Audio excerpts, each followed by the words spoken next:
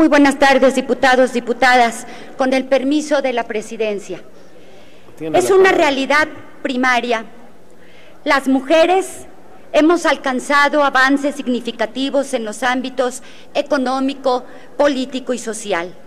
Sin embargo, estos avances se han dado de forma paulatina y no siempre a la velocidad que lo demanda la dinámica social de nuestro país. En el año 74 se efectuó una reforma a la Carta Magna para establecer que el varón y la mujer son iguales ante la ley, lo cual marcó el inicio de las acciones tendientes a eliminar cualquier práctica de discriminación por motivos de género. A partir de esta reforma constitucional, se aprobaron diversas reformas jurídicas a las leyes secundarias, así como la creación de mecanismos e instituciones públicas tendientes a reconocer plenamente los derechos de las mujeres.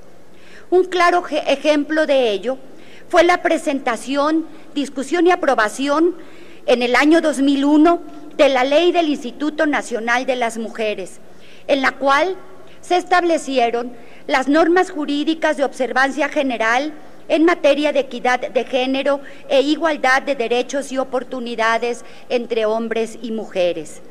De ella se desprende que corresponde a dicha institución dirigir la política nacional para lograr la igualdad de oportunidades de manera institucional y transversal de la perspectiva de género en las acciones del Estado mexicano.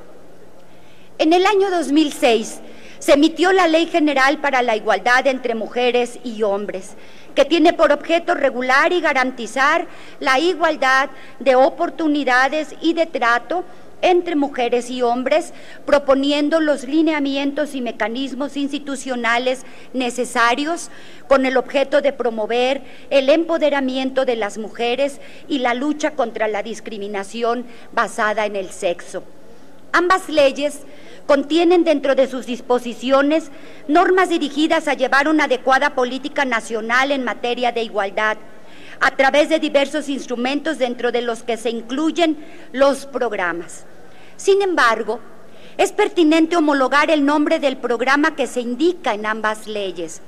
Por ello, las legisladoras integrantes del grupo parlamentario del PRI Votaremos a favor del dictamen que reforma las fracciones sexta, séptima y vigésima tercera del artículo 7 y primero del artículo 26, la denominación del capítulo séptimo, el artículo 28 y el segundo párrafo del artículo 30 de la Ley del Instituto Nacional de las Mujeres, a efecto de modificar el nombre del programa social para que la denominación sea Programa Nacional para la Igualdad entre Mujeres y Hombres, que tiene como objeto disminuir las brechas de desigualdad entre mujeres y hombres.